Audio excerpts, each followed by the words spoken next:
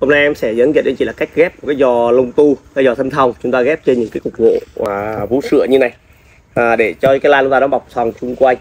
Rồi bây giờ anh chị chúng ta theo dõi nhé. Tiên là chúng ta sẽ chọn ra những cái khóm lông tu. À, đây là một cái khóm lông tu mà nó đã à, có mầm con ra rễ. Anh chị chúng ta sẽ giữ hai thân và bóc bớt thân già đi và giữ hai thân trừ một phần rễ lại. Ừ.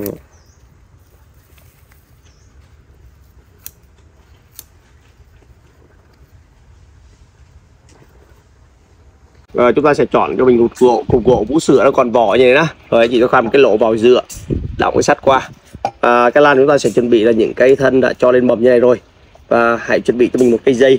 À, cái dây này dây kẽm bọc nhựa. À, chúng ta sẽ ghim định vị cái lan chúng ta lại. Đầu tiên là chúng ta sẽ à, ghi một điểm cho cái đầu dây đã. À, ghi một điểm đầu dây. Rồi chúng ta vòng cái lan chúng ta qua đây. Ừ rồi chúng ta bấm lại. Tiếp tục chúng ta cứ xoay vòng tròn như vậy.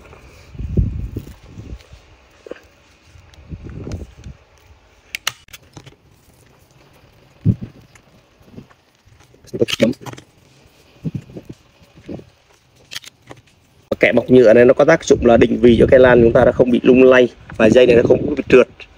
À, kẻ bọc nhựa rất là chắc.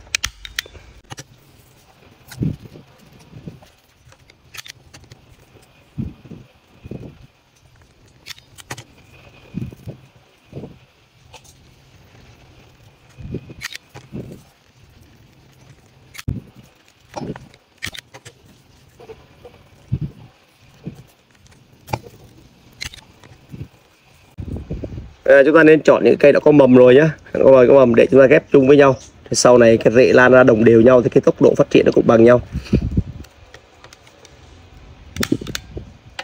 Và chúng ta dùng thêm cái túi phật gốc là quấn lại như này. Đây rồi chúng ta ghim lại. Và sau khi chúng ta trồng xong chúng ta bỏ phân chúng ta mỗi ngày tưới nước cho nó khoảng hai lần.